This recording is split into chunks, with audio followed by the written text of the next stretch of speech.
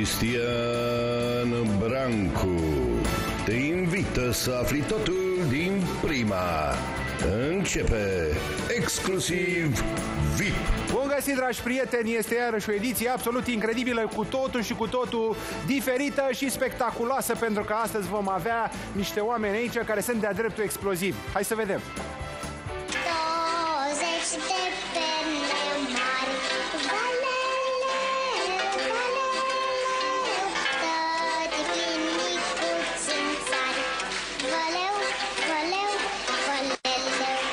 Știe cineva cine este această fetiță frumușică și talentată foc? Este Betty de la Etnic.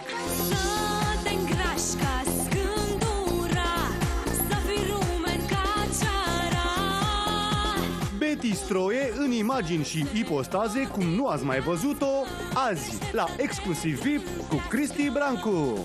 Azi e despre tine, nu privi înapoi Azi e despre stâne, despre supereroi Chiar dacă grijile te apasă Să știi că astăzi ești frumoasă Astăzi ești frumoasă Bună ziua, doamnelor și domnilor, și bine ați venit la o nouă prognoză meteo. Astăzi a fost declarată stare de alertă în capitala României, iar autoritățile vor fi luate prin surprindere. S-a anunțat cod galben portocaliu, inclusiv roșu, de vijelii, furtuni și ploi torențiale. S-au anunțat inclusiv ninsori, însă nu acum peste două luni, dar important e că va ninge. Aveți grijă, nu ieșiți din casă și nu vă impacientați, păstrați-vă calmul, pentru că, după cum spunea și marele maestru Petrică Cercel, dacă plouă, nu mă plouă. A fost pentru voi Ioana State, vă mulțumesc că după amiază plăcută să aveți. Ioana State a decretat și stare de bună dispoziție și umor pentru azi la Exclusiv VIP. Stați cu noi! Vine imediat! These four lonely walls have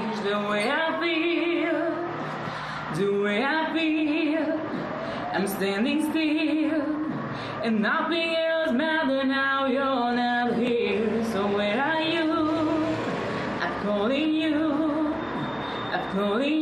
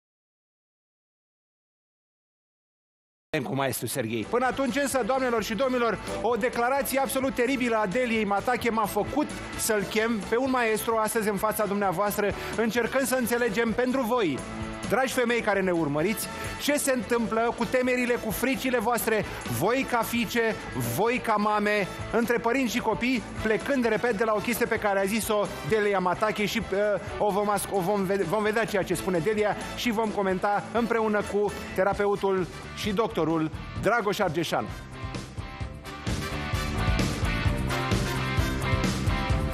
Bine ai venit! Te pup. Pe de altă parte, tu care ești un uh, un om cu care m-am întâlnit în diverse ipostaze online sau în direct. Uh, Sunt convins că te bucur că ne vedem aici, pentru că noi tot vorbim de ceva vreme. Da. Și uh, îți propun, pentru că am uh, sondat împreună ce și cum să facem, să-ți citez, să ci- citez uh, un fragment din interviul pe care Andra, solista Andra, uh, i l-a luat într-un podcast uh, Deliei Matache, celebra Delia. Și de aici plecăm. Mi-e puțin frică de lumea asta. Mi-e frică gândindu-mă la mediul ăsta de familie, cumva mi-ar fi teamă. Mi-e teamă să mă gândesc că aș aduce un copil pe lume. Mi se pare că, ok, da, nu văd o lume superbă, nu văd o lume ideală. Niciodată nu a fost. Cumva mă văd genul de părinte, nu-mi place în totalitate lumea în care trăim și mi se pare că aduce un copil într-o lume tare nesigură. E nesigur totuși și tu aduci un suflet nevinovat într-un mediu nesigur. Te gândești că la un moment dat că pleacă și că intră cumva prin diferite portițe în lumea asta despre care vorbesc. Altfel spune că ar fi o mamă mișto. Deci este o teamă, o teamă de a aduce un copil, o teamă de a ne gândi ce se întâmplă în sufletul nostru ca părinți, sau e o chestiune de egoism? Uh, Eu cred că există o teamă și firească, pentru că fără să vrei ai în jurul tău exemple de oameni cu probleme, cu copii, cu de toate, dar uh, uh, este greșită. Și o să vă spun de ce e greșită. Uh, Copiii s-au născut dintotdeauna. Uh, Copiii s-au născut și în al doilea război mondial. Știți, nu toți evrei ați ajuns la, au ajuns la Auschwitz. Unii au plecat în Statele Unite, alții în alte părți, Au cucerit lumea, au, s-au, na, s-au răspândit în toată lumea. Deci, nu toți au ajuns să aibă niște ani grei acolo sau să moară. Ideea este în felul următor. Uh, Este absolut greșit să crezi că, uh, cum să zic eu, lumea determină uh, viitorul copilului tău. De ce? Păi e foarte simplu. Întotdeauna exista bogați și săraci, nu? Da. Pe, pe vremea... Întotdeauna au existat sclavi și cei care îi foloseau. Ca așa este planeta asta. Așa e construită ea. Uh, problema nu este de lume, ci de ce destin are copilul. Pentru că există o predestinare. Predestinarea asta nu este bătută în cuie, dar există o predestinare. Și problema este uh, că fiecare copil care se naște, se naște cu drumul lui. Drumul lui există dinainte de a se naște. Adică, dacă ne gândim la viață, viața seamănă cu, nu cu seamănă cu facultățile românești, seamănă cu facultățile americane. De ce? Pentru că ai examene impuse și ai examene opționale. Și atunci, avem o predestinare, astea sunt toate examenele impuse prin care trecem toți, și au opționalele. Dar la opționale, ca să ajungi, trebuie să muncești. Sunt unii, evident, care au, uh, cum să zic eu, vieți mai frumoase, mai ușoare. Sunt unii care trebuie să muncească mai mult. Dar, până la urmă, viața se aseamănă cu un joc de bridge, adică primești o mână de cărți. Mâna asta de cărți poate să fie bună sau proastă. Ce înseamnă o mână de cărți bună? Te naști într-o familie bună, ai parte de studii de calitate, ai niște părinți care te educă, ai uh, o viață frumoasă, vizitezi lumea, etc. Sau ai o, o mână de cărți proaste. Doamne, te naști la țară, n-ai știu decât să duci vaca la păscut, uh, singura ta soluție este să înveți și să înveți pe brânci, te duci prin internat, etc.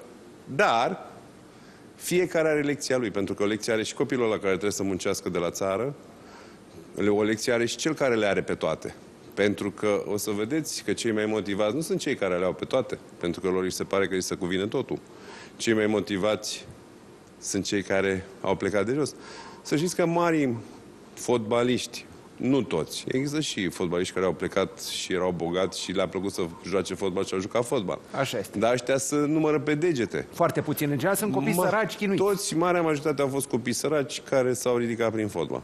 Adică ce vreau să spun? De ridicat poți să te ridici, dar de plecat oamenii pleacă cu alte, cu alt, cu alt start. Vreau să spun ceva. Uh, hai să zicem, nu pot să afirm că știu foarte multe despre Delia, da? Da, nu, eu nu O mă secundă. refer la Delia. A, e, te referi la... La, La, concept în dar general, la concept pentru că în după general. aceea o să-ți dau încă două, trei povești la care nu vorbim despre ei, Am înțeles. dar vorbim despre oameni. Te rog, Nu, spune. ideea este în Termină felul ideea și următor. după aia spune. Uh, ținând cont, eu v- vorbesc în special de ea pentru că a spus, uh, bănuiesc că este o persoană care are posibilități materiale, Cât vrea. Uh, e o persoană care își permite și o bonă, și grădinițe Absolut private, orice. și școli private. Deci poate să-i ofere unui copil o viață chiar foarte frumoasă. Plus că e foarte important startul în viață. Una e să termini la Politehnică, mă rog, în nu știu ce oraș în România și alteva să termini în, uh, într-o țară străină unde înainte să termine facultatea toți au joburi. Adică altceva când ai bani, altceva când o iei de jos. E adevărat. Pe de altă parte, uh, sigur că uh, există temeri legate și de ceea ce se poate întâmpla în momentul în care iată, aduci un copil pe lume. Avem această poveste de care s-a vorbit la începutul anului, nu despre poveste vorbe, ci despre ceea ce s-a întâmplat în interiorul ei. O cântăreață, Claudia Pătrășcanu, divorțată de soțul ei, Gabi Bădălău, el dintr-o familie de politicieni și în momentul în care ei își continuă războiul pe copii și pe divorț și pe ceea ce s-a întâmplat, ajungi la un moment dat ca să vezi că mama, mama vorbește despre tatăl copiilor și copiii vor citi mai târziu uh, pe Google că mama spune tatăl s-a drogat, tatăl a umblat cu băieți, tatăl trebuie trimis la DNA și copilul în momentul acela va trăi o traumă. O secundă. Uh, haideți să vă spun ceva. Fiecare copil, când se naște, haideți să uităm noțiunea de copil. Deci toată lumea când se referă la copil se referă orică e bebeu, orică e în clasa 1, orică e între a 10 orică e... Domnule, un copil dincolo de toate este un spirit cu vârsta sa mare, că altfel nu s-ar putea naște om. Deci este un spirit bătrân, un spirit cu experiență, care a mai trăit în, pe planeta asta. Deci nu e nici prima oară, nici aia. Deci nu mai considerați copiii niște bebei pentru că așa au forma aia. Ei sunt niște spirite care au în spate un trecut. Deci, în momentul în care înțelegi că un spirit are în spate un trecut, înțelegi că el are niște lecții de luat și are niște oglinzi. Adică copiii ăia suferă niște traume, dar ei nu se văd decât pe ei înșiși. Adică copilul ăla care trăiește într-o familie de genul ăsta disfuncțională este de fapt un copil ca, în care, în interiorul lui, bărbatul și femeia nu se înțeleg. Adică inul și yangul din el nu se înțelege. Așa cum se poartă tatăl tău cu mama ta, așa ești tu ca fond. Nu sună frumos deloc și nu ne adevărat. convine. Da. Nu ne convine. Bă, dar asta e realitatea. Degeaba dă tot dăm vina pe părinți. Nu! Copiii vin pe pământ prin, pe principiul rezonanței, rezonanță cu părinții lor, chiar dacă lor nu le convine. Că vin ei din ceruri înalte, nu, că eu nu sunt. Știți că mulți zic, a, eu n-am nicio treabă, părinții nu se cu ei. Da, pentru că prin părinții tăi se manifestă umbra ta. Prin părinții tăi se manifestă subconștientul tău. Deci toți, hai să zic așa, în termeni ortodoxi, ăștia înțeleg mai ușor, prin părinții tăi se, te, se, se manifestă toți demonii tăi interiori, relativ bărbat, femeie, femeie, bărbat. Tu vezi ca la teatru cum se comportă părinții între ei, așa ești tu înăuntru tău. Și atunci nu mai dăm vina pe părinți. Adică să nu credeți că copiii ăia sunt degeaba acolo. E adevărat. O, Ei mai au avem- de învățat ceva. O să avem o pauză de publicitate, până atunci însă o salutăm și pe o bună prietenă comună care ne urmărește, chiar Rita Mureșan, alături de care uh, Dragoș a mai fost în emisiune.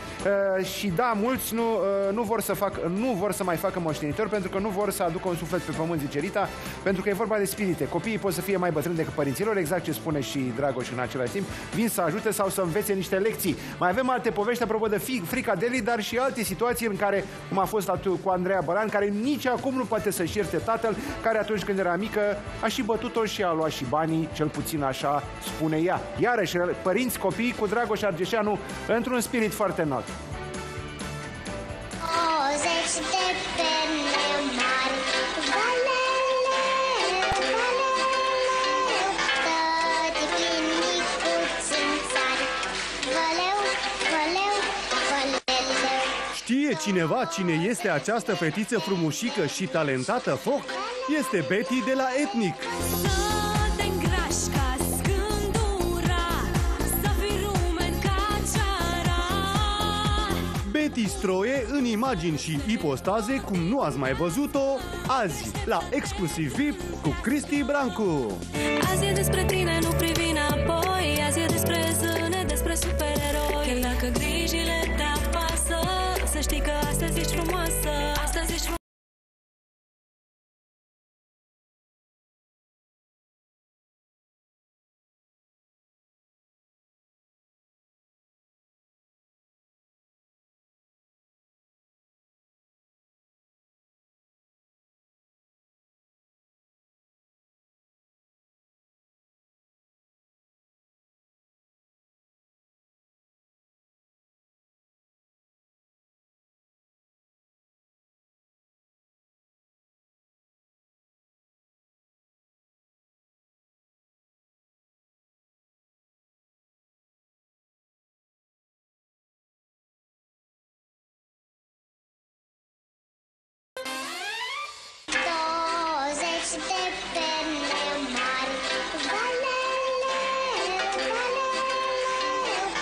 Știe cineva cine este această fetiță frumușică și talentată foc?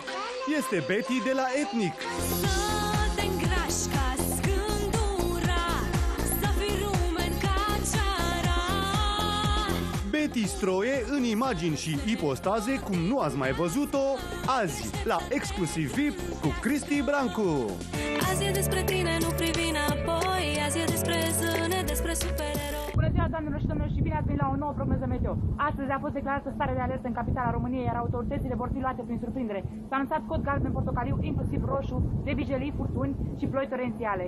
S-au anunțat inclusiv ninsori, însă nu acum peste două luni, dar important e că va ninge. Aveți grijă, nu ieșiți din casă și nu vă impacientați, păstrați-vă calmul, pentru că, după cum spunea și marele maestru Petrică Cercel, dacă plouă, nu mă plouă. A fost pentru voi Ioana State, vă mulțumesc că după amiază plăcută să aveți. Ioana State a decretat și stare de bună dispoziție și umor pentru azi la exclusiv VIP. Stați cu noi! Vine imediat! These four lonely walls have changed the way I feel, the way I feel. I'm standing still. Revenim, o să avem multe surprize astăzi. Suntem împreună cu Dragoș Ardeșanu sau Ovidiu Dragoș Ardeșanu pentru, pentru cunoscători. Uh, un om uh, care are foarte, uh, foarte mulți, nu, nu, nu, în calitate de medic și de terapeut, oameni pe care i-a uh, vindecat, pe care i-a adus către lumină, Uh, și care uh, are și o bogată activitate editorială, uh, povestind și scriind foarte multe lucruri foarte, foarte interesante. Astăzi vorbim despre părinți și copii. Am plecat de la această declarație a Deli, căruia e frică să aducă un copil pe această lume. Crezi că poate să fie cumva și un pretext sau poate că... Sigur e un pretext. Adică sigur e un pretext pentru că un copil nu-ți simplifică viața, ți-o complică. Adică e clar că nu mai ai timpul tău, e clar că uh, el devine cel mai important, cel puțin până la un moment dat. Adică e foarte greu să-ți vezi de viața ta, uh, dar nu e imposibil. Adică mai e o problemă, la noi e și o problemă de educație. Noi avem impresia că dacă ai făcut un copil, gata, s-a încheiat, trebuie să spui batic în cap, că așa e nunta la noi. Oamenii înțeleg. Eu am văzut oameni, copii, noi născuți în Egipt. Noi născuți, deci eu nu știu dacă avea o săptămână, două. Deci era o mogâldeață ținută de tasul în, în două palme. Deci ăla e mic. Deci la noi există frica asta. Bă, frate, să nu scoți din casă. Ăștia erau plecați în timp de pandemie ruși în Egipt. Noi avem o păsărică la cap. Dar în realitate am văzut străini urcând ceahlău copii de 3-4 ani. Trei ani aveau. Aveau un sac de la, adică un rucsac de la, în formă de scaun. Și puneau pe rând tasul, purta, și urcau ceahlău. Adică noi avem niște bube în cap că copilul trebuie să, copilul trebuie să, copilul trebuie să. Nu. Uh, cum să zic eu, așa cum îți speli copilul acasă și dai de mâncare acasă, așa poți să faci de oriunde. Nu trebuie să fii acasă. Poți să fii pe bune pe plajă, că tot aia e. Tot trebuie să-i dai să mănânce, tot la atâtea ore, tot cu biberonul sau la sân. Dar noi avem păsările astea, să-l protejăm. Pare așa o hiperprotecție. Nu e bine, nu e bine nici măcar pentru un copil.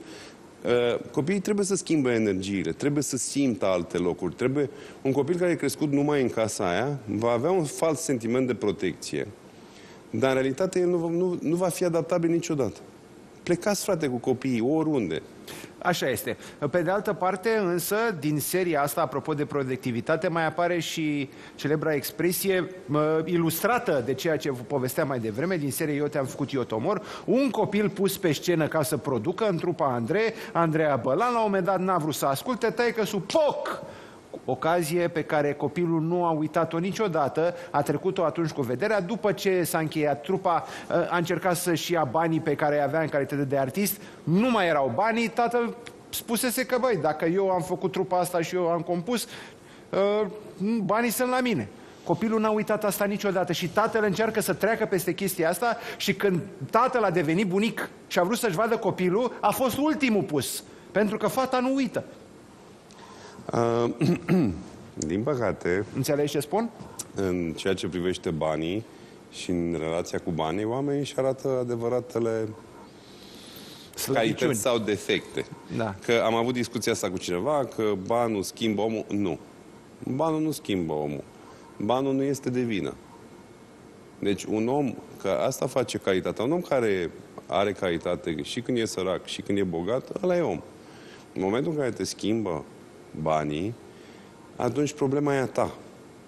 Și uh, evident că gândiți-vă că noi am trăit într-o vreme în care toată lumea a fost, hai să zicem, m- m- doar ciobanii ce aveau bani și preoții și mai știu eu cine pe vremea lui Nenicu, da? E, vă dați seama că în momentul în care oamenii încep să vadă, oamenii încep să se schimbe un pic uh, alea și să considere că merită mai mult. Evident că eu nu sunt în măsură să spun ce s-a întâmplat acolo. Dar să nu uite că e taicăsul. Să nu uite că există o legătură karmică între părinți și copii, care e bazată ori pe iubire, ori pe ură. Să nu uite că, până la urmă, el a fost, uh, cum să spun eu, cel care a propulsat-o și ceea ce e astăzi se datorează lui. Bun, rău, că a făcut. Eu sunt pe principiu, toată lumea și-a luat țeapa lui la un moment dat în viață, nu? Nu, poate nu toți de la părinți, dar toți ne-am luat niște de la prieteni, așa, ceva. Da. Cred că asta îți dă calitatea umană. Calitatea umană nu ți-o dă faptul că tu când e totul bine, ci modul cum te raportezi la un om care greșește sau la un om care consideră că... Deci, uh, până la urmă, problema este să punem în felul următor. El atâta a crezut, m- m- cum să spun eu, ca și om, că e corect. Nu sunt în măsură să-l judec. Problema lui. Dar modul cum mă raportez la asta îmi dă calitatea mea. Știu, dar la un moment dat în această idee de posesie sau care e mai tare, se ajunge la, uh, și noi am vorbit deseori de chestia asta în online, ajunge la blestem, blestemul de mamă, uh, copilul spune, Deci, o se ajunge secundă. și aici. Blestemul de mamă, e o proiecție, se dezleagă, nu e nicio problemă. Cum se dezleagă? Apropo, să dăm și un Păi, sfat. gândiți-vă că este o informație și o energie. Blestemul de mamă și bă, de părinți în general se prinde pentru că uh, informația asta și energia pleacă din suflet și se duce pe suflet. Evident că cu cât ești mai apropiat de persoana respectivă, că ți-e nevastă, că ți-e tată, că ți-e mamă, se prinde mai ușor. Dar e tot un program. Se anihilează ca orice program pe suflet. Adică nu e cine știe ce. adică, acum să știți că eu nu o să stau de frică că m-ar putea blestema vreodată, că am făcut tot ce am vrut întotdeauna. Și niciodată nu mi-a fost frică că m-ar putea zice mama ceva. Da. Nu trebuie să ne fie freacă, frică de asta și chiar dacă se întâmplă să știe că, domnule, e, este pă, vindecabil, e, poți să ștergi, este efectiv, se dă delete. Dar, uh, mă refer, uh, eu mă pun în postura ei. Să zicem, tatăl a făcut așa ceva, perfect. Dar calitatea mea mi-o dă faptul, dacă pot să-l iert, pot să trec peste asta, nu trebuie să stau nas în nas. Că eu nici măcar nu sunt de acord că trebuie să stai nas în nas cu părinții o viață și... De acord. Eu nu cred în familiile sandwich și nu cred că trebuie să ne mâncăm, mâncăm toată ziua la masă duminica. Eu nu cred în de astea, îmi pare rău. Eu cred că familia mea e persoana de lângă mine și copiii. Nu părinții mei, nu părinții ei. Și, cum să zic eu, din tot ce am studiat până acum, asta este corect. Adică natura are o înțelepciune. Știți? Bun, acum depinde și ce variantă alegi. Că sunt familii în care cre- copiii sunt crescuți în comun, adică sunt mai mulți frați, își cresc verii. Fiecare variantă. Până la urmă, fiecare își alege cum îi convine lui. Dar nu ești obligat să faci ceva ce nu simți. Asta vreau să spun. E adevărat. Adică poți să lași copilul să-l vadă părintele, perfect. Asta nu înseamnă că trebuie să ducă copilul meu să facă vacanțele cu bunici. Nici asta nu e scris undeva. Bun, pe de altă parte, după cum vedem, lucrurile astea vin de undeva din spate și ne prind. Pentru că așa cum au fost crescuți părinții noștri, ei simt nevoia să ne crească pe noi și cum spunea și o celebră, într-o celebră postare pe care o pe net din, de la TVR3 a lui Menis Iusri, dacă părinții nu sunt în regulă cu noi, noi devenim justițiari. Noi nu putem să oferim ceea ce spui tu, apropo de iubire și înțelegere, câtă vreme așa am fost crescuți și atunci avem, simțim nevoia asta, știi? Și atunci se întâmplă asta cu Andreea sau cu alte persoane. Eu m-am gândit la treaba asta, dar uh, m-am uitat un pic în trecut și făceam o paralelă numai între părinți copii, mă uitam inclusiv cu Sfinții Părinți. Mă refeream și la ortodoxie. Și că eu blamam la un moment dat că, mă rog, apar niște tâmpenii și care s-au perpetuat în timp. Și uh, am luat la următoarea concluzie. Domnule, părinții tatălui meu i-au crescut ca cum au crezut ei mai bine. Tatăl meu ne-a crescut cum a crezut el mai bine. Eu îmi cresc copiii cum cred eu mai bine. Dom'le, de am văzut o evoluție. Adică față de cum era bunicul sau bunicul pe partea mamei, față de cum a fost tata cu noi, eu cred că m-am schimbat în sens pozitiv și am observat asta nu numai la mine, la familia mea, că altfel a crescut, o, l-a crescut fi, uh, sor mea pe fisu, altfel, uh, adică efectiv există o evoluție a educației ăstea părintești. Evident că se produce mai greu pe măsură ce cum să spun eu, se schimbă societatea și oamenii devin mai înțelepți. Nu mai sunt de aia cu, da, eu când aud după aia cu, pe vremea noastră se puneau oalele de post în pod uh, și se schimbau cu oalele de frup și invers, mă cad pe spate. Adică, adică nu mai putem să gândim așa. Noi trebuie să gândim în spiritul actual. Ei, și Las că știu eu mai bine. Las Știi că tu știu eu acum. mai bine, Las. da. Ai venit tu mucos să mă înveți pe mine? Bă, și este adevărat pentru că știți care este problema noastră? Noi nu ne upgradăm la copiii noștri. Problema nu sunt copiii noștri. Nu. Problema suntem noi. Da. Adică, la un moment dat, dacă tu nu evoluezi continuu, copilul tot te va întrece. Și când te va întrece, nu va mai avea același respect. Și când refer la a te întrece, nu înseamnă că fac alergare la 100 de metri. La a te întrece înseamnă la intelect, la putere interioară, la capacitatea de a discerne, la experiență. Pentru că toată lumea are impresia că, domnule, dacă ai părul alb, trebuie să te respecte lumea. Băi, poți să ai părul alb și să fii de-a dreptul bătut în cap. Da, e adevărat. A, și atunci, nu vârsta este un criteriu al, al... Că mă întreabă părinții de ce nu îi mai respectă copiii. Păi nu te mai respectă copilul pentru că n-ai știut să-l faci să te respecte și... Da. Și atunci, data viitoare, când ne mai întâlnim, Dragoș, o să vorbim despre cealaltă chestie. Lasă că nu sunt ideile astea ale tale, ți le-a băgat ție în cap ăla sau aia cu care ești. Și ajungem în momentul acela, ori eu, ori ăla. Deci am auzit-o pe cea mai tare. O tipă se duce la conferință la Dalai Lama în... uh, Și cu asta în, încheiem. uh, în Budapesta, că Dalai Lama nu a fost niciodată la noi. Și se întoarce și divorțează. Cine a fost de vină? Cine a fost de vină? Dalai Lama. Dacă i-a băgat prostii în cap. Deci a, a, asta de fapt e problema. După care n- n-ai cum să fii tu de vină, că eu te-am crescut, eu te-am hrănit, tu e sânge din sângele meu. N-ai cum să fii făcută, doar te-am spălat atâta vreme și după aia tu și faci gândești așa. așa. A? Și gândești așa. Și gândești așa și după aia spui, sigur, ți-a băgat Te-ai prostii în prostit, cap. mamă. A? Te-ai prostit, mamă. Ai văzut? Deci, Da. Doamnelor și domnilor, despre alte lucruri înțelepte o să mai vorbim cu Dragoș Ardișan într-o altă întâlnire. Stați să vedem, mulțumesc foarte mult. Stați să vedem Drag. ce urmează. 20 de perne mari Valele, valele Știe cineva cine este această fetiță frumușică și talentată foc? Este Betty de la Etnic. Să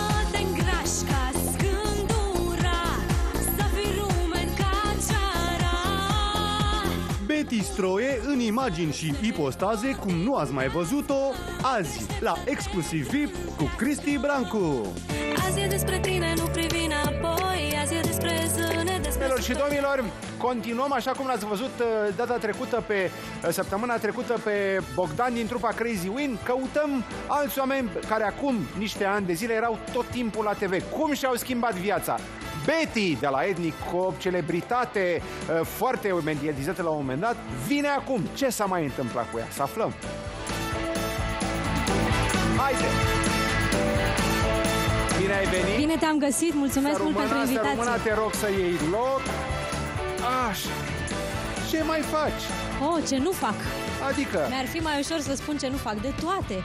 Muncesc, construiesc, ce mă înseamnă plimb. construiești? De exemplu, l-am descoperit pe un Bogdan care cânta în trupa Crazy Wind, polițist de frontieră în Canada. încă nu, încă Ce nu. fă? Asta n-ai ajuns, dar Na, ce faci încă tu? nu. Uh, păi, de exemplu, în perioada asta uh, construiesc o casă în Telega. În Telega, da? Da, da. Uh, Lângă con- casa mamei. Lângă casa mamei. Bun. Și ai de gând să faci din asta un business? Uh, e posibil ca în viitor să avem uh, niște business-uri acolo. Bine, deja ne-am uh, gândit la câteva lucruri și am și pornit cumva. Uh, avem o flotă de mașini echipate pentru overlanding și off-road și facem plimbări. Eu în toată perioada anului trecut, uh, fiind nevoie să-i uh, duc mamei uh, tot felul de cumpărături, am și învățat să conduc mașinile de off-road, am învățat să conduc pe noroaie, adică e frumos, e frumos rău Da, de tot. doamnelor și domnilor, să vedem exact uh, ce și cum se întâmplă și cum își schimbă oamenii viața, că celebritatea asta e bună. Dar uh, trebuie să mergi mai departe în viață uneori și să vedem cum. Ne întoarcem.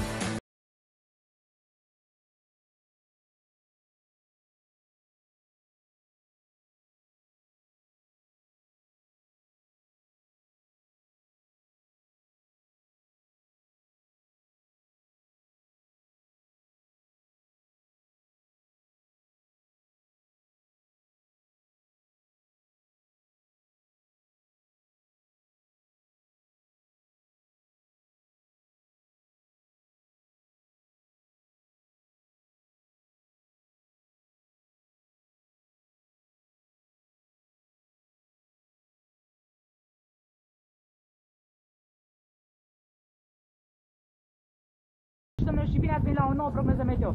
Astăzi a fost declarată stare de alertă în capitala României, iar autoritățile vor fi luate prin surprindere. S-a anunțat cod galben portocaliu, inclusiv roșu, de vijelii, furtuni și ploi torențiale.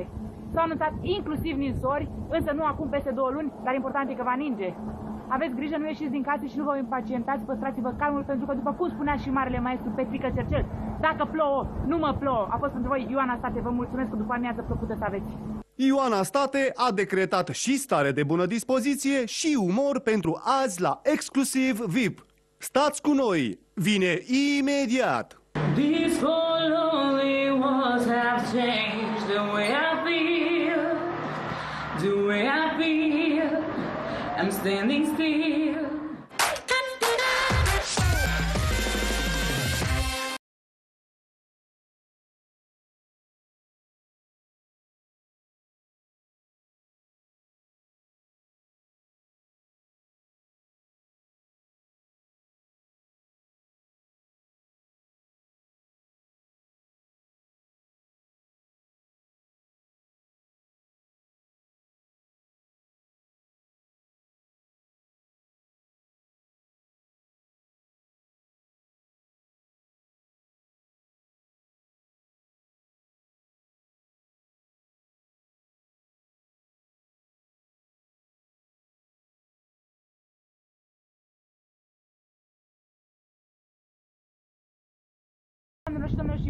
O nouă prognoză meteo. Astăzi a fost declarată stare de alertă în capitala României, iar autoritățile vor fi luate prin surprindere. S-a anunțat cod galben portocaliu, inclusiv roșu, de vijelii, furtuni și ploi torențiale.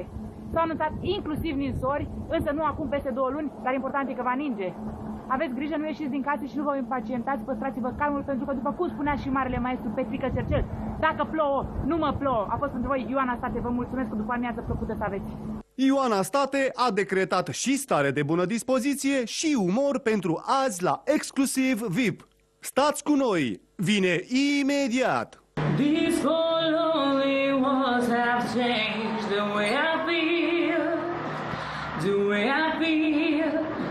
I'm standing still. Avem multe surprize pentru voi, doamnelor și domnilor. Acum însă, revenind în fața dumneavoastră după multă vreme, că n-ați mai văzut de ceva vreme, vine Betty, cunoscută din trupa Etnic, dar toată lumea o știa ca Betty de la Etnic, care uh, vreau să vă spun că atunci când nu cântă este prima cântăreață cu excavator din România. Da, cred că da.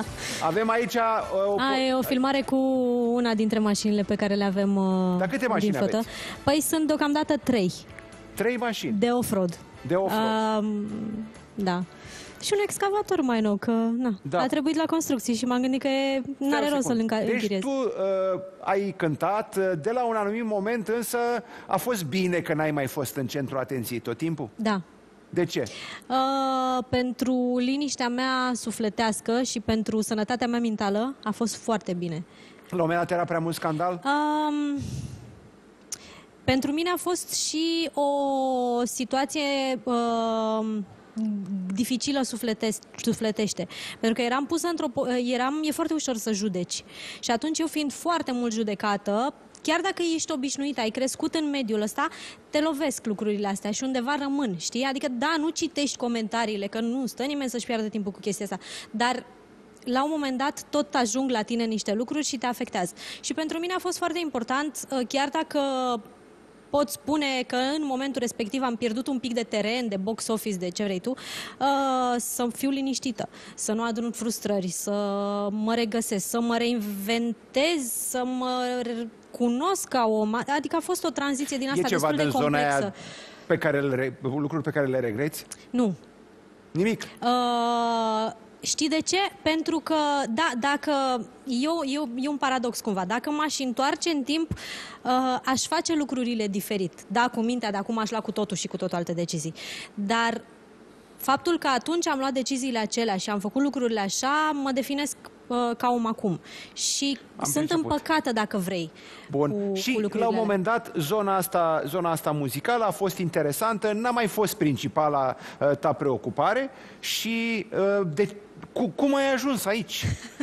să construiești, să vrei să faci off-road cu cetățeni? Da, a fost... Uh, bine, toate lucrurile astea Vine au și pornit de, din fapt de la partea, Jolt. Da, uh, da, da, au venit de la el o mare parte din ele, pentru că el cu plimbările, cu off am uh, fost anul trecut în Apuseni cu cortul. Bine, noi obișnuiam să mai mergem cu cortul uh, cât, când puteam și cât puteam. Uh, în ultimii ani nu mai fuseserăm și atunci, fiind uh, pandemie, am zis, "Mamă, perfect, mergem în Apuseni cu cortul, ne luăm pistica și dăi. Și a fost, uh, a fost distractiv. Atunci am experimentat prima oară uh, Se ce merge înseamnă cu pisica, off-road. cu cortul? Uh, cu una dintre pisici, de fapt, pentru că am o droaie de pisici, dar cu una dintre ele, da, de fapt, cu unul, Toc Toc, uh, cea mai nouă Aha. achiziție. Păi da. și cum se descurcă în natură așa? Uh, erau noroaiele până la genunchi, uh, mașina aproape că urma să fie troliată de noroaie, iar el uh, dormea cu roțile în sus. N-are niciun N-avea fel niciun de... stres în viață. Uh, f- Foarte frumos. El când te-a cunoscut și te-a văzut, ce a luat din ceea ce auzise despre Betty de la Etnic? Cred că mai nimic. Da? Cred că mai nimic. Adică, știi că de obicei vine, băi, uite, vezi că e fata aia despre care s-a spus aia, aia, aia, aia. Ah, știi ce mi-a spus că a luat? Uh, mi-a spus că a citit la un moment dat un interviu cu mine în care, mă rog, povesteam tot felul de lucruri și mă întreba cum trebuie să fie bărbatul ideal. Și culmea este că uh, descrierea mea de atunci coincide perfect cu trăsăturile lui, că este blond, are ochii verzi, e, are sprâncenele arcuite, are uh, buzele frumoase, e înalt, e frumos. Uh, și am mai reținut faptul că spusesem eu că nu mă interesează situația financiară la un bărbat. Da, sigur, nu trebuie să-l întrețin, dar nu mă interesează situația financiară la un bărbat, pentru că pe de, o- de o parte vreau să construim împreună lucruri și pe de altă parte m-am și ocupat cumva de partea asta și reu- Da. reușisem să adun ceva, ceva capitol. Și asta mi-a zis, am uh, citit chestiile alea și uite, astea mi-au atras atenția, știi? Foarte frumos. Da. Uh, e mai bine așa, fără mult uh, zarvă în jur? Uh, Acum, în pandemie, să știi că nu este multă zarvă în jur. Înainte de pandemie, mai ales în ultimii... cam din 2017 încolo, aveam destul de multe evenimente. Eu am un proiect și cu Wilmar, care se numește Da. Tequila Party și aveam, aveam destul de multe evenimente și împreună și separat, adică agitație din punctul ăsta de vedere era, plus business-ul pe care îl avem noi pe partea de booking artiști uh, și era muncă multă. Acum, din momentul în care s-a închis totul, că nu o să uit niciodată data respectivă, m-am întors în 8 martie de la un club de dans, că ieșeam cu, cu gașca și uh, mi-a spus Jolt, asta a fost ultima ta petrecere la care eu, știi, capricoarnă. Da. Adică, cum adică? Ce vrei să spui tu, prietene? Zice, gata cu cluburile, o mie de pers- de la 1000 de persoane, gata. Și atunci știam, știu că e începutul sfârșitului, practic, pentru noi și n-am mai, n-am mai Hai să ieșit de vorbim atunci. înainte A să fost greu. cântăm. Ce, ce ai de gând să faci cu toate, cu toate lucrurile astea? Am văzut că se co- construiești cumva o casă lângă ai tăi, unde... Și ce vrea să faceți? Are un nume ciudat ce mi-ai spus tu acolo, dar am uitat. Glamping? Glamping. Glamping, da. Ce e aia glamping? Glamping Eu știam sunt cu niște... camping, mă rog, mai sunt și altele care se da, termină este... cu un ping, dar nu vreau e să le camping spun. glam. Adică camping glam ce înseamnă? Adică în uh, cu interiorul, DJ? Ce în înseamnă? interiorul uh, și cu DJ, că vor fi și niște evenimente. În interiorul unui cort imens, tu ai uh, aproape tot confortul unui hotel de 4, poate 5 stele. Olele. Dar este un proiect pe termen uh, mediu. Dacă vrei, Dar trebuie vreau să să, cumperi- avem casa. Am spațiu suficient, am 5.000 de metri Am înțeles. pătrați. Și cort de așa natură sau vin oamenii Există, cu ei? există corturi de așa natură, da. Trebuie doar mobilate, mă rog, amenajate și așa mai departe. Aha. Dar da, există. Ia uzi, bă, cort de 5 stele. Da, da, da. Cum da. e, mă, Cipriane, cort de 5 stele, mă? E, E într-un ceva foarte mare interesant. Fel. Da? Și Dar în, ce are... uh, în- A, o secund. Nu vreau să știu și eu ce are un Ai, cort de 5 stele. N-am fost în șemineu. viața mea cu cortul, că nu mi-a plăcut. Recunosc că n-am fost gen. Bă, Asta e, fiecare om are... Da, da, deci, da, da, da, ce da, înseamnă sunt un mulți. cort de 5 stele? Să știu și eu. Că poate nu mai suntem așa... poate Înseamnă e pe că ai... Barosăneală uh, cu corpul ăsta pe 5 înseamnă că ai șemineu, înseamnă că ai... Uh, Du-te.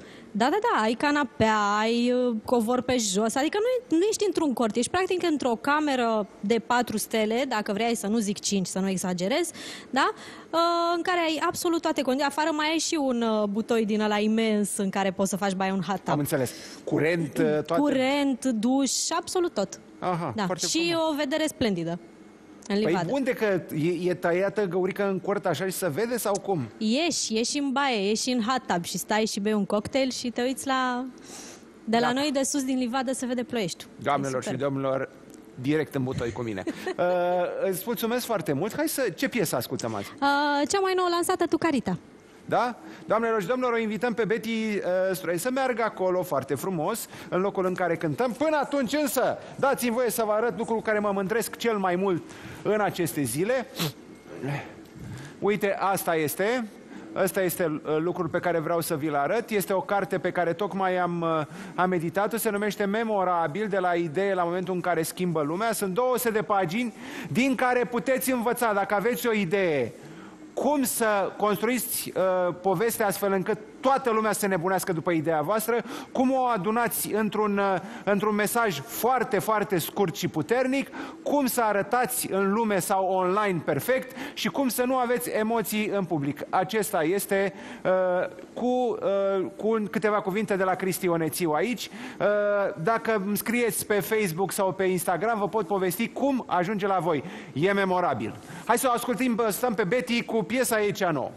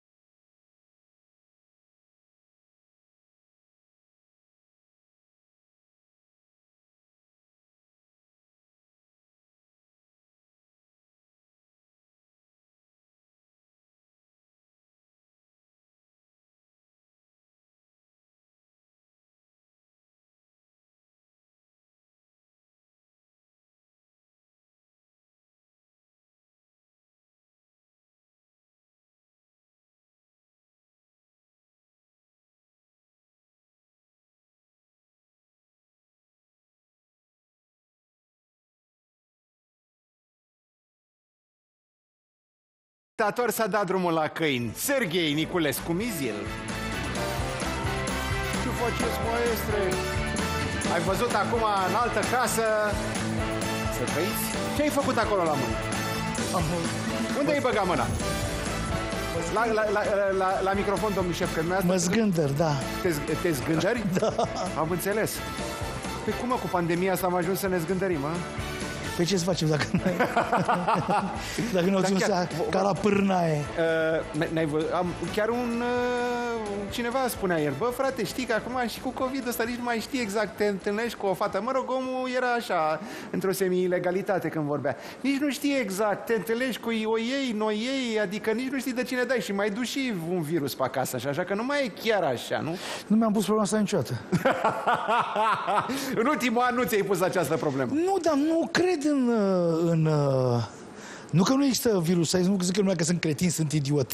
Nu fi atât de, că există. Da, există fără discuție, dar nu e așa ce spui. Păi n-ai văzut cum l-au terminat când, a, când s-a supărat uh, Werner și a spus nu mai e virus, nu mai, n-a mai fost virusul. Adevărul e că nu mai e virus. Mă uit și eu în jur și nu mai vă pun Bă, oraș. da, hop, hop, s-a terminat. Da, doamnelor și domnilor. Pe de altă parte, vreau să te întreb dacă nu ți-ai pus această problemă în ultimul an de zile. Adică nu că mi-am pus că am avut boala. Da, știu. Deci, în primul rând, că n-am avut nimic, de cât trei zile n-am avut gust, în jurul meu toți au avut boala, n-au avut absolut nimic. Cum mă, ai fost tu lipsit de gust trei zile? Nu, de miros. Ah. Gustul nu, gustul am avut. Gustul nu ți l-ai pierdut. Nu.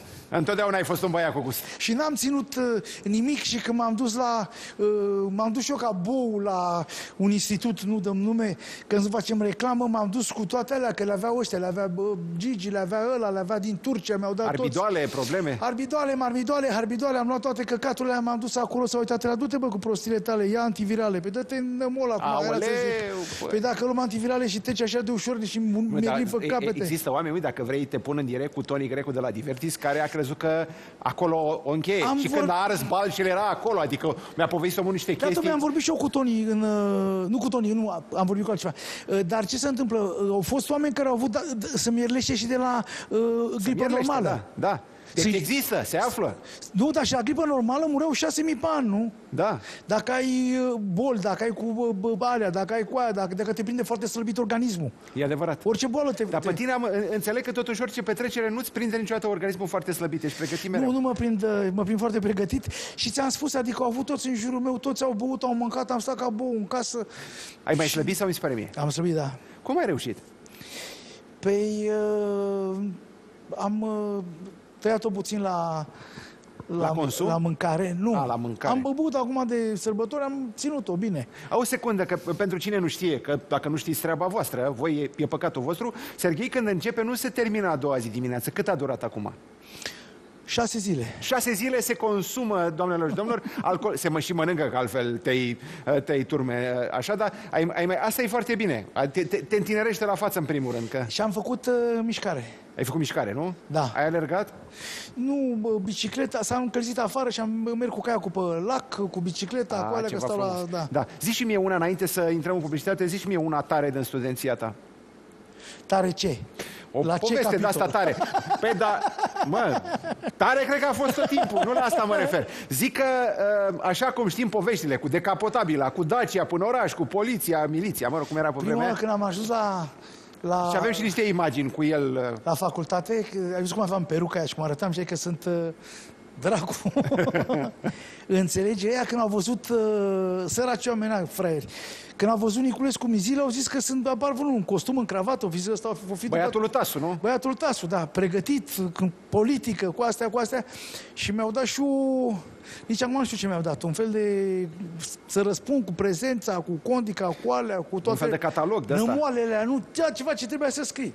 Bine, eu am terminat arțiplat și eram șase Da. colegi, toți drojdieri, toți astea. Eu când am ajuns bine, mi-a dat ăla, l-am aruncat pe geam. Ce să fac eu cu ăla? Și- Dar de ce nu le-ai aruncat și tu pe o masă? De ce făcea? Că nu și mi-a dat ăsta, bă, să scrii tu când nu sunt ăștia, că nu știu, da, mă, scriu și l-am aruncat. Ah, păi te-a pus responsabil de Da, un clasă. fel de responsabil de ce eram... Tu trebuia să fii turnătorul șef, adică să N-am spui... înțeles nici acum ce trebuia să fiu, înțelegi? Și uh, au venit ea, domnule, că ai aruncat uh, documentul statului și astea. Și zic, "Băi, ce document mă lăsați mă pe mine cu toate prostiile astea?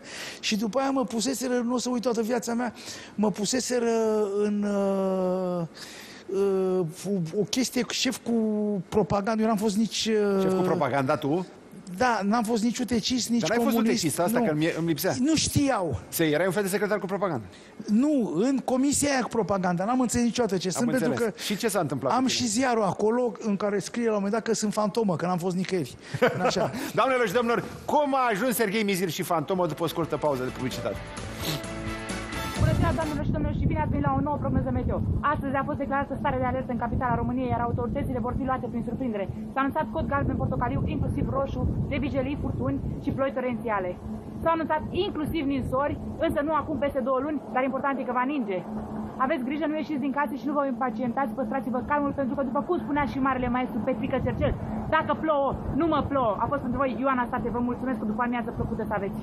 Ioana State a decretat și stare de bună dispoziție și umor pentru azi la exclusiv VIP. Stați cu noi! Vine imediat! These four lonely walls have changed the way I feel, the way I feel. I'm standing still. Bună ziua, doamnelor și domnilor, și bine ați venit la o nouă prognoză meteo. Astăzi a fost declarată stare de alertă în capitala României, iar autoritățile vor fi luate prin surprindere. S-a anunțat cod galben portocaliu, inclusiv roșu, de vigelii, furtuni și ploi torențiale. S-au anunțat inclusiv ninsori, însă nu acum peste două luni, dar important e că va ninge. Aveți grijă, nu ieșiți din case și nu vă impacientați, păstrați-vă calmul, pentru că, după cum spunea și marele maestru Petrică Cercel, dacă plouă, nu mă plouă. A fost pentru voi Ioana State, vă mulțumesc că după amiază plăcută să aveți. Ioana State a decretat și stare de bună dispoziție și umor pentru azi la exclusiv VIP. Stați cu noi! Vine imediat! These four lonely walls have changed the way I feel, the way I feel. I'm standing still. Da, doamnelor și domnilor, suntem cu legendarul, uh, eternul și fascinantul Serghei Niculescu Mizil, pe care îl chiar găsiți așa pe online. Căutați, vă rog frumos, uh, Serghei Niculescu Mizil.blogspot.com Știi ce e aia? Știi ce e asta, nu?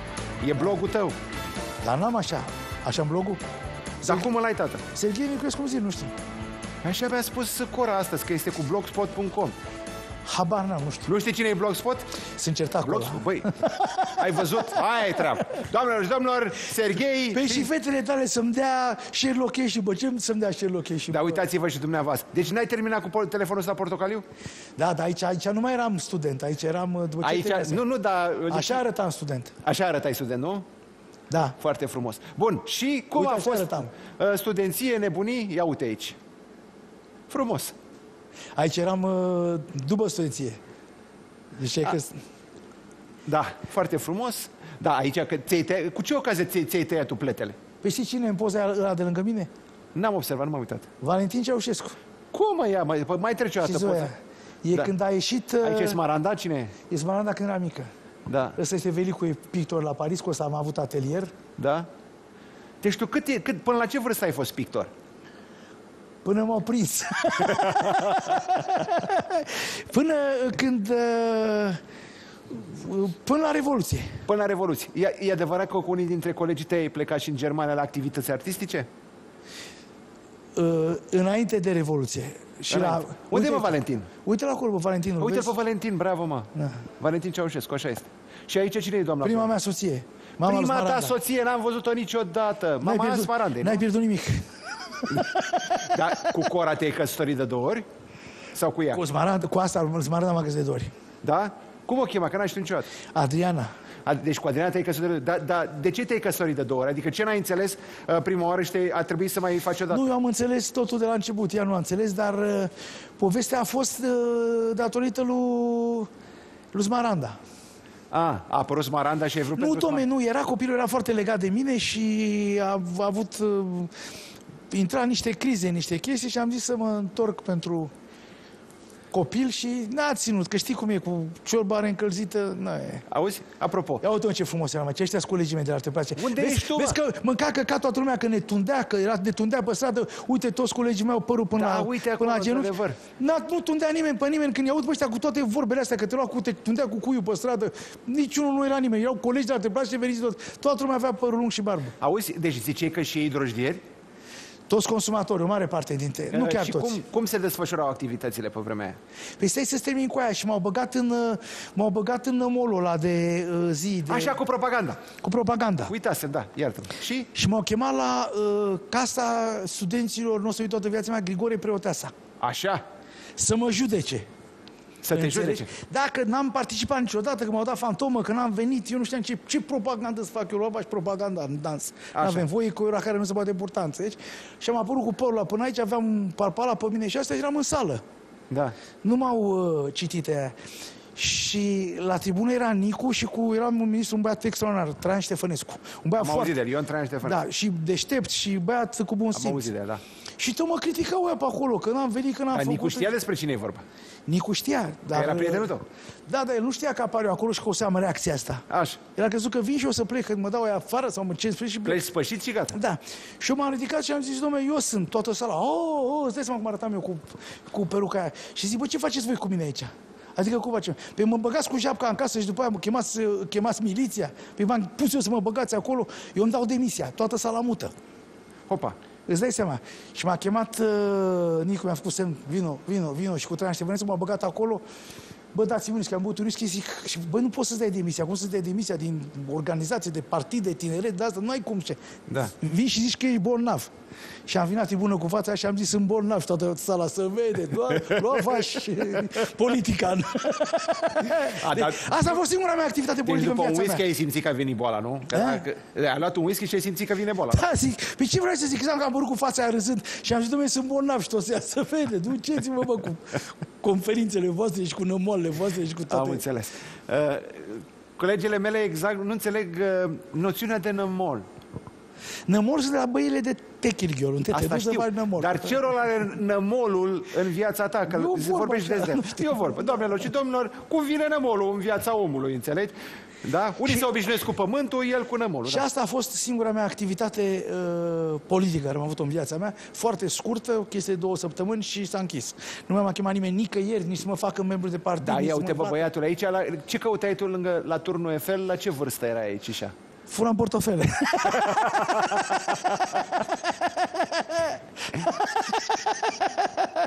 Păi la ce vârstă era aici? 20 ceva de ani. Știi că am făcut parte din burghezia roșie, am recunoscut timpul. Mergeam pe afară, mă plimbam, înțeles. făceam, Am înțeles. făceam Mi se pare aduceam corect. marfa înapoi ce luau ai noștri pe acolo. Am înțeles. Deci nu era cu portofele, era un mic trafic de frontieră, așa, nu? Sau un mare trafic de frontieră. Da, domnule, se făceau, se făceau cu videouri, blugi și... A, și pe tine nu te controla și puteai să aduci oricât, hă? Nu mă controlau, nu. Am înțeles. Și câte videouri puteai să aduci odată? Pe playere ne aduceam și 10-15 playere. Oalelei. Să, să bea un an de zile. Plus casetele erau tari. Casetele, da. Da. Ai și după aia se multiplicau și bani adevărați, nu? Da, se făceau bani frumoși, bani mulți. Mulți. Și cu săpun, Rexona, și era să puțin bagul cu săpunul. și cu spray și cu ciorap, și cu... Păi, dar cât de mare putea să fie bagajul tău? Pe mergeam cu mașini. A, și intrai cu mașina în țară. Fii cum, vrei să intru pe jos? Ca Badea Cârțan, care a plecat la Roma. da? A, și de, pe tine nu te controla că Nu. era, era consemn la frontieră. Că nu, vine și toți băieții afară care devalizau, că vreau să distrugem Occidentul de mici. A, a, și furai de la bogați și voiai să dai la Luam săraci. de la voi, hai duc! Luam de la bogați și dădeam la săraci. Am priceput. A, și cu ei Contra unor sume. contra unor sume, nu? Da. A, bun. Uh, ai și aici, ai- cine ești la căsătoria? Aici Al- sunt naș, nu, sunt naș la uh, un uh, coleg de-a meu care e în America, Șchiopu Nicolae, care a terminat și el pictura cu mine.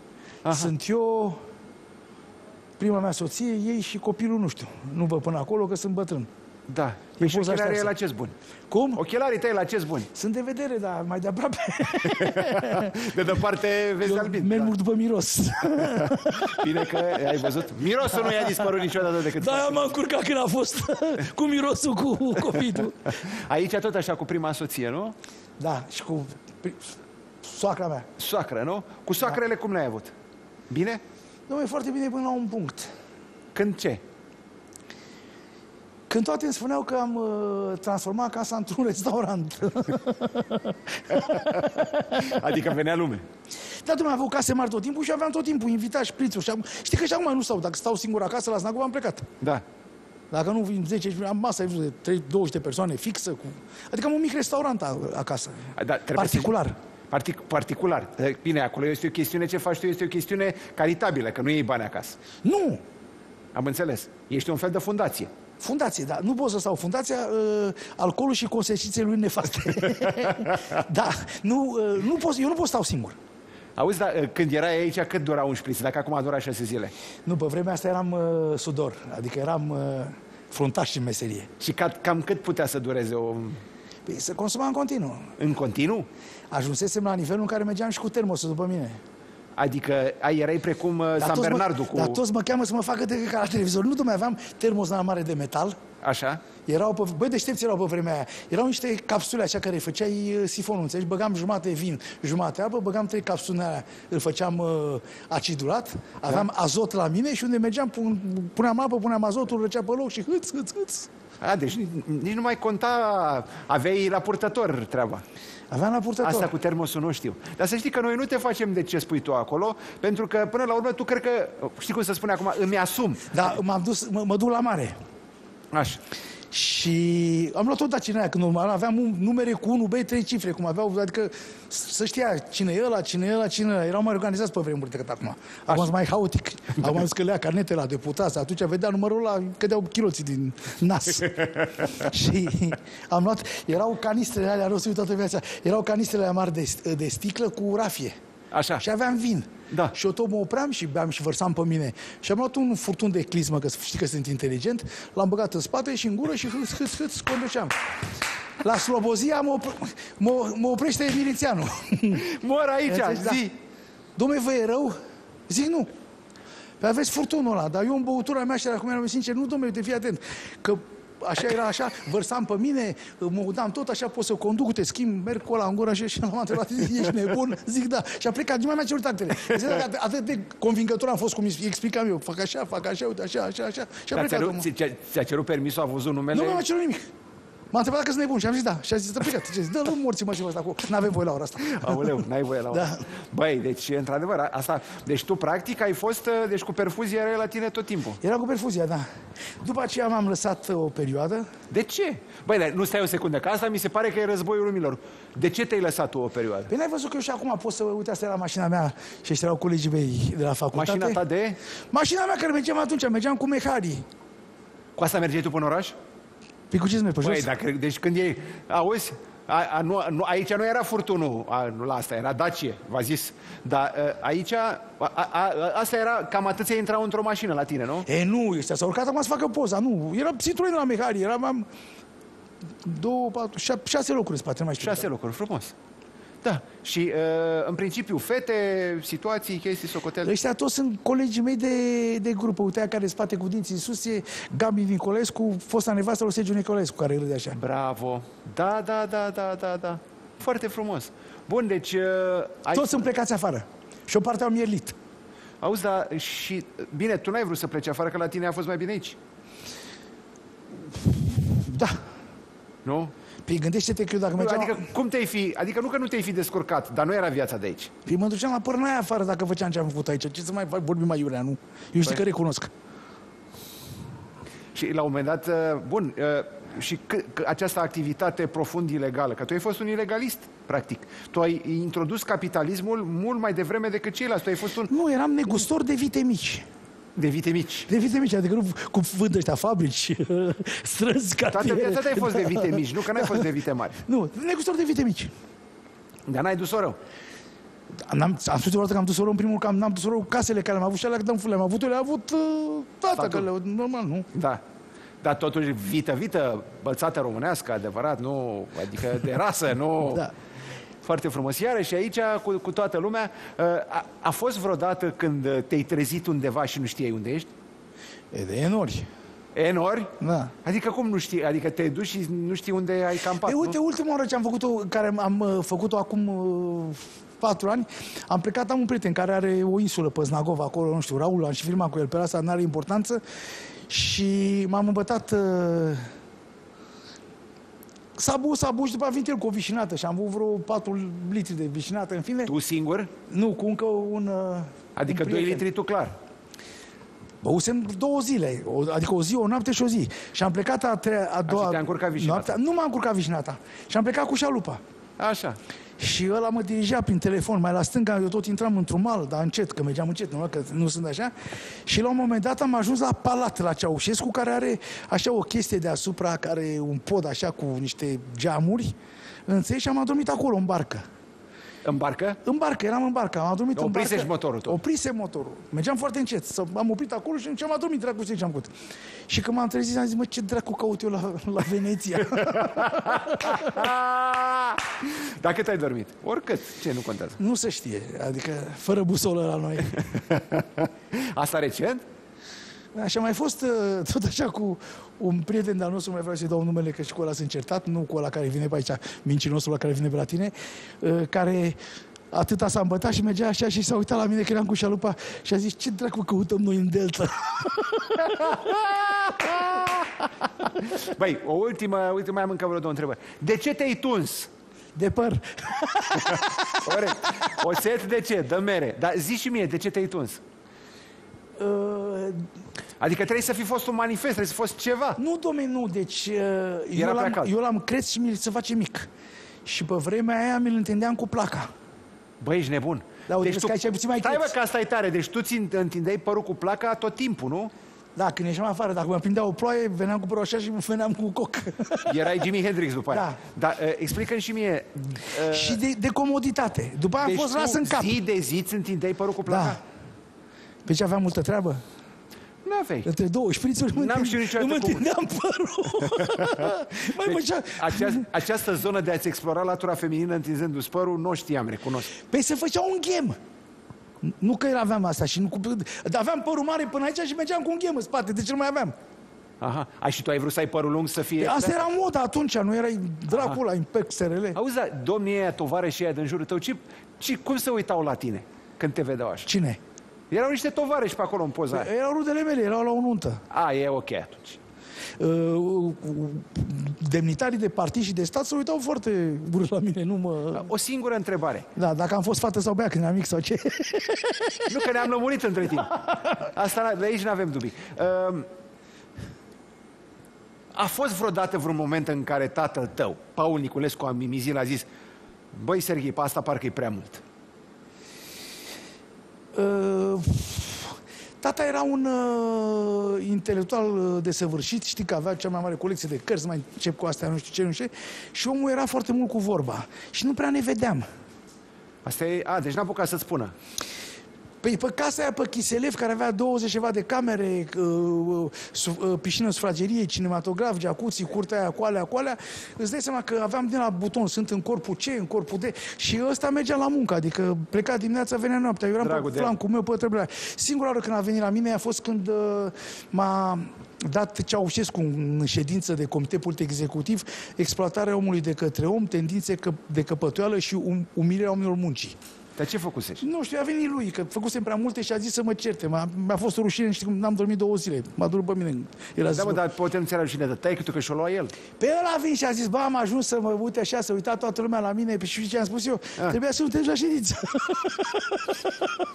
și nu să mai uitau la tine. Doamnelor și domnilor, îl mai chemăm pe Serghei, că după cum vedeți este un ivo- izvor nesecat de înțelepciune, ca să zic. Da, dar să nu se ia lumea după mine. Da, doamnelor și domnilor, nu faceți ca el, dar nu știu de ce uh, ai atâția fani. Uh, mă bucur că ai venit. Am spart gheața aici, că de, te urmăresc de ceva vreme, recunoști. Că unii ori fi venit, dar și pe tine te-am chemat. Uh, odată n-am venit. O dată m-ai chemat și o dată n-am venit. Că eram... Uh, Păi da. vrei să se închidă emisiunea de la început? Nu, doamnelor și domnilor, Vrei ca la capatul să-ți ia 50.000 de amendă? doamnelor și domnilor, a fost o mică repriză de umor și nămol, cum trebuie. Mulțumesc foarte mult, Serghei. Să Nu fie aveți bine, pentru ce. ne vedem la mare. Uh, Da, de-abia aștept. Da, și uh, hai să vedem ce urmează. Bună ziua, doamnelor și domnilor, și bine ați venit la o nouă prognoză meteo. Astăzi a fost declarată stare de alertă în capitala României, iar autoritățile vor fi luate prin surprindere. S-a anunțat cod galben portocaliu, inclusiv roșu, de vijelii, furtuni și ploi torențiale.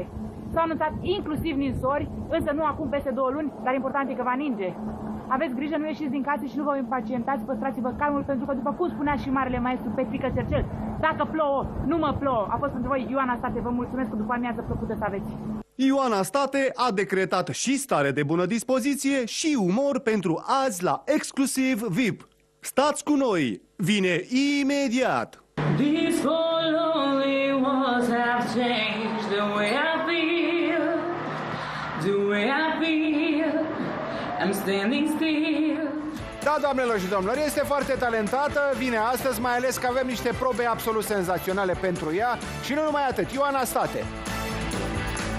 Bine ai venit, bine ai venit, te rog să iei loc, uite, acela este telefonul care la un moment dat o să sune. Uh, am văzut, uh, am văzut că nu numai că ești multilateral dezvoltată pe umor, dar ai și o voce foarte frumoasă, nu? Mulțumesc tare și mult. ce faci cu ea? Deocamdată o țin acolo pentru cântat în baie, pentru dușuri, pentru prieteni. Am înțeles, dar dă drumul, eu știu, mai vreun concurs de ăsta de muzică, dă drumul, poate cine știe, ești de duș? o să mă pregătesc, nu știu, la un moment dat nu știm ce, ce ne rezervă viitorul. Deocamdată mă bucur de activitățile pe care le am pe partea de stand-up comedy și uh, asta mă face fericită momentan. Muzica... Încep, a început, uh, înainte să luăm pauză și după avem multe provocări, a început treaba? A început, da, suntem fericiți că s-a dat o nouă ordonanță prin care acum avem voie să organizăm spectacole cu 50% din capacitatea uh, localului și suntem fericiți, ne bucurăm de public. Care este cea mai bună constatare, poantă, uh, mișto, care ți-a venit în legătură cu pandemia asta? În legătură cu pandemia, e, asta e cea mai recentă dintre ele de când uh, s-au relaxat restricțiile privind purtarea măștilor la exterior. Am zis că abia ce îmi crescuse și mie mustața, așa cum trebuie să renunțăm la măști. Doamnelor și chemați-l pe Serghei să stăm aici la mustață. Doamnelor și domnilor, Ioana State, după o scurtă pauză ne întoarcem și avem, avem niște chestii foarte, foarte agitate, mișcate. O să râdeți, da de bine, după pauză.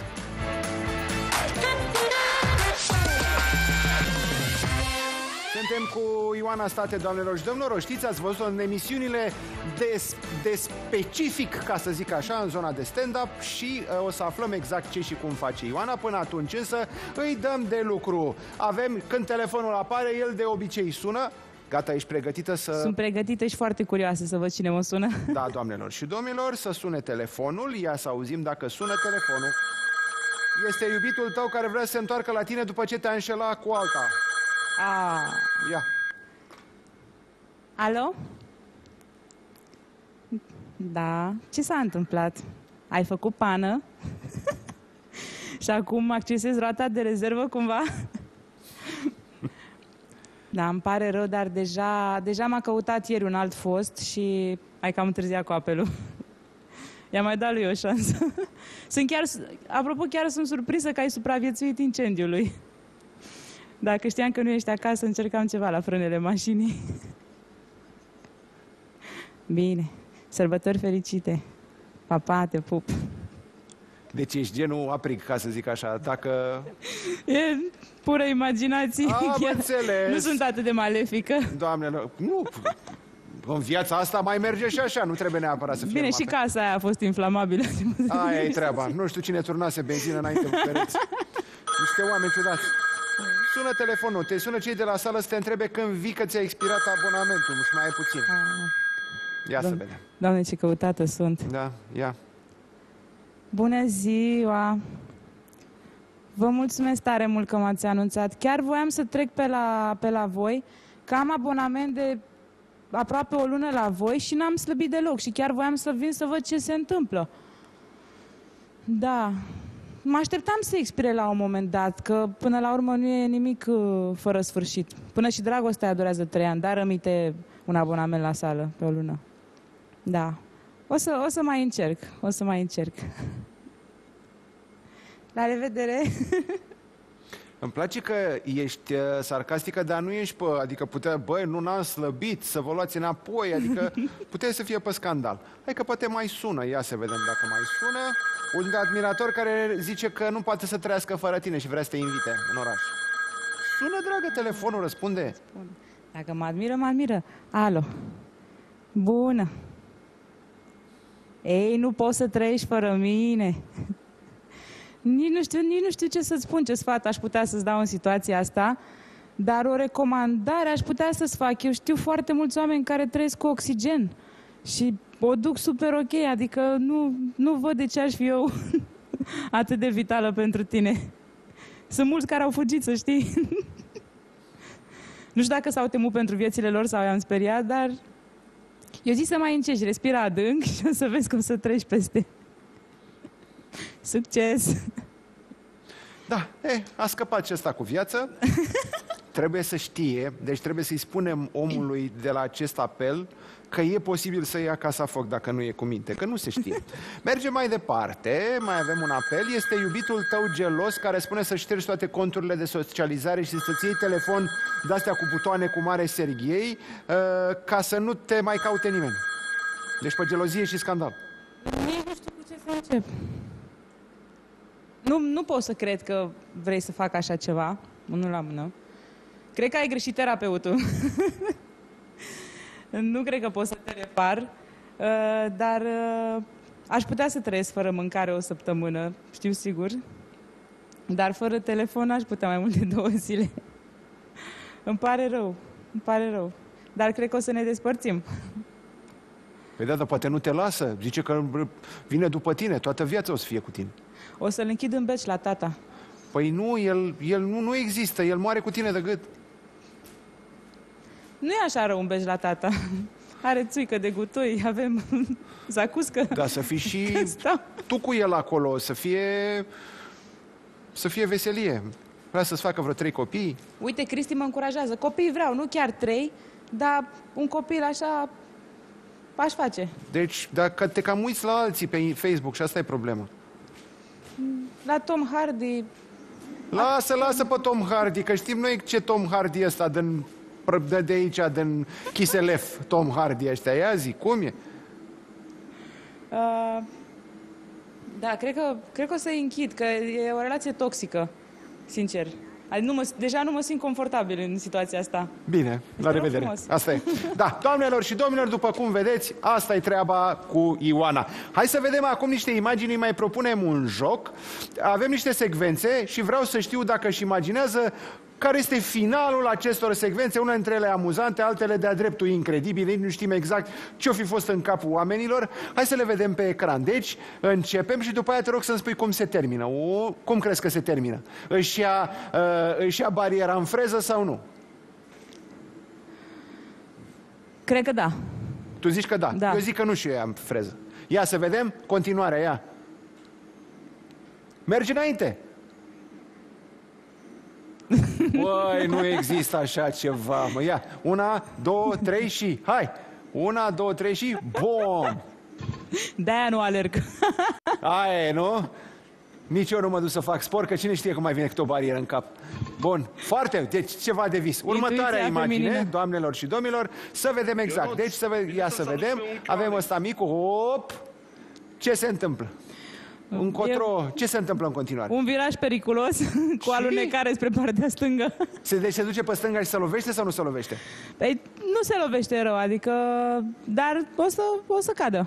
O să cadă, nu? Da, nu o să fie un impact puternic pentru că nici el nu are o greutate foarte mare și atunci... Mai sunt nu. și alte persoane implicate sau numai el? Dacă eram de față, sigur că deam și eu cu el. Ah, e în regulă. Ia să vedem mai departe. Ionuț, Una, bine să-l două, saluți trei pe și... unchiul Alex. Așa, ia să vedem. Ia, una, sunt două, din trei și... China. Oh. Bine să-l saluți pe unchiul Alex. Auzi, pe, pe, pe, cine ascultă zice că a venit unchiul Alex. Și omul ce face când vede că a venit unchiul Alex? Aoleu! Excelent! Aoleu, ăla care nu vine cu niciun cadou. Refuz! Re, da, refuz de hrană, nu vreau să-l văd. Excelent, foarte bun. Aoleu, Asta e m-am o întors. reacție de actualitate. Asta pățesc acum de multe ori când intru într-un magazin și mă întorc când dau seama că mi-am uitat masca în mașină. Da, da, Fix da, asta da. e reacția pe care o așa am. Este, așa este. Bun, ce face domnișoara cu bicicleta? Cade, uh, cade în, uh, în freză sau se re, uh, face vreo acrobație și e ok? E posibil să fie pasibilă de rinoplastie după acest Deci impact. zici că s-a terminat cu nasul ei, da? Da. Să sune la niște doctori, facem, facem un casting în emisiune. Poate e vreo artista roților. Hai să vedem. Una, două, trei. Oh! Ia, una, două, trei. Deci fata n-are nimica, se oprește și se întâmplă ce se... Băi, acum, tu ce crezi până la urmă? Eu cred că așa s-au cunoscut și au rămas fericiți până la adânci bătrâneți. A tamponat-o de la primă, știi? Fetelor, nu cedați din prima seară. A tamponat-o din prima. Ar fi frumos de la o amiabilă. Exact, știi? O dai amiabilă, după care începi să refaci uh, traseu. Bun, hai să vedem următoarea. Ăsta vrea să umfle roata și a băgat piciorul acolo. Dacă îți bagi piciorul, ce se întâmplă? Ce zici? S-ar putea să-ți rămână acolo. Rămâne piciorul. Aici pariez și eu că rămâne piciorul acolo. Hai să vedem. Una, două, trei și... Du-te, bă! M-a durut pe mine. Mamă, dar ce a făcut, mă, ia? Ia, una, două, trei și... Ex... Cred că băiatul ăsta o să mai joace fotbal doar pe PlayStation. da, da, da, da, da. Dar explică și mie ce fel de roată e aia, chinezească, ceva, ceva fiind, da. Ia, așa ceva n-am crezut că aud în viața mea. Și văd. Da. Dar că ce amuzant era să-ți dau foc la picior. Ia. Ia să vedem ce se întâmplă. Mori? Ia uite mă că era cu flacăra acolo. Doamne, mai avem așa ceva? Ia, ce face această focă mai departe? Cred că va aluneca înapoi în apă. Eu am încercat să mă urc din apă pe barcă și niciodată nu mi-a ieșit. și am avut și eu forma și la un moment dat. Ah, ia. Ce face Dacă foca? reușește, chiar o să fiu mândră de ea. Le mănâncă pești, băi! Ah, șmecheră foca, mă! Și foca a știut exact unde trebuie să se ducă, nu? Și ăla săracul vrea, ia. Da, ce drăguță e foca, dar de fapt ea a venit să mănânce prânzul, era invitat. Și eu Excelent. găsesc tot timpul mâncare. Da? Dacă vreau. Foarte tare. Mai avem? Hai, încă una. Ia să vedem, ia. Marchează. Un alt fel de penalti. Deci, da, unde îl lovește? În transversală. În transversală. Eu cred că îl lovește la părțile moi. Ia să vedem. Una, două, trei și... O, cumva tare, dat-o moale. Ia una, ia. Bă, da, ce, bă, băiatule, parcă ești de la FCSB-ul, auzi, ia, ce periculos, da, ia. Una, două, trei și... Bun, unde te găsește lumea? Pe Instagram, pe Facebook, în Comuna Dascălu. În Comuna Dascălu? De acolo locuiești? Da. E departe de București? Nu, 20 de kilometri. Doamnelor și domnilor, Ioana State și Jean de la Crăvea, Ioana de la Dascălu. Dar sună frumos, băi, deci ești de la Dascălu, e pe bază de învățământ, bă, nu e așa, da? Felicitări, Ioana. Avem o mulțumesc. cântare foarte frumoasă, Ecaterină și Dimitri sunt alături de noi, hai să-i vedem în acest moment. Vorbim uh, o piesă foarte frumoasă, o ascultăm și după aceea mai vorbim. Iată-i, să-i ascultăm. Din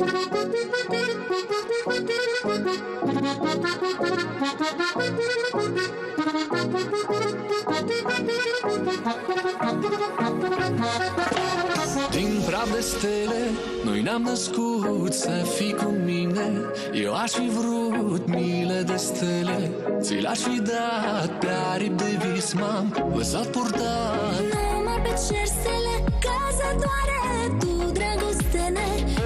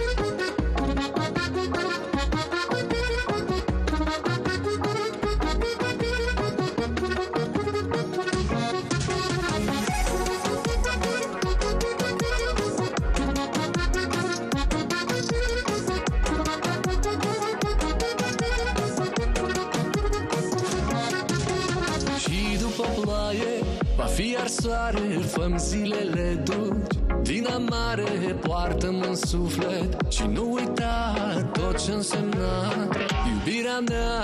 Privesc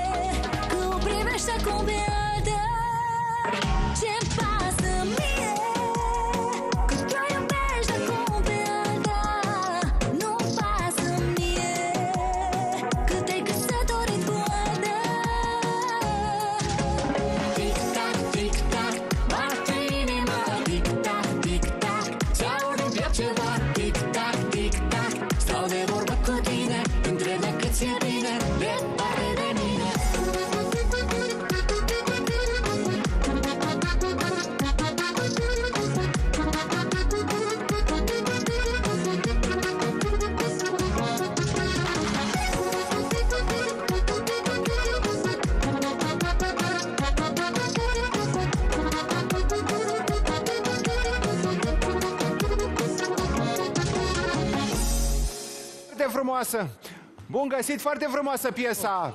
Foarte diferită! Ne bucurăm să te revedem Așa este! Cum sunteți? Ce face? E o piesă așa mai... Mai veselă, mai... mai veselă. Mai de vară. Am zis să venim, că a fost destul o perioadă tristă pentru toată lumea și am zis să venim cu un zvâc așa de vară, cu ceva de iubire, cu ceva de bine și zic că balansul e pozitiv. bun. Da. Cu balansul e bun, nu? Balansul e bun. Deci, uh, funcționează, e foarte bine. Cum ați trecut peste pandemie? Am trecut cu bine, am, uh, am compus foarte mult, am stat mai mult în casă, am compus, am, am muncit mult și a Ați fost găsit bine. voi ceva de făcut în Asta casă? e rezultatul muncii noastre. Ce, ce Intrați pe canalul nostru Caterin și Dimitri pe YouTube, acolo să vedeți absolut toate tâmpenile pe care le-am făcut timp de un an de zile și am făcut multe. Aveți dove- dovada. Foarte frumos, mulțumim foarte mult! Și noi! Mulțumim, mulțumim foarte mult, Caterin și Dimitri. Ia să vedem ce se întâmplă cu fetele. Sunt aici. Ce fac? Doamnelor și do- Hai că nu mai știu exact ce fac Cristi, fetele. mulțumim. Noi astăzi ne pregătim de defilare, de prezentare, de poze fetelor, nu? Sau? Defilăm, pozăm și comentăm cele mai tari ținute de la Brit Awards și nu numai. Dar vorbim și despre uh, scuzele pe care le au bărbații atunci când înșeală, că poate vă interesează și subiectul ăsta. Da, nu da tot din casă. mai Stați, rămâneți cu noi și o să vedeți ce scuze găsesc bărbații atunci când vor să înșele. Urmărește-ne, Cristi, și tu. Singura scuză este că, că ne vedem mâine de la ora 3 și trebuie să ne despărțim acum. Mâine de la ora 3 exclusiv. Mulțumim!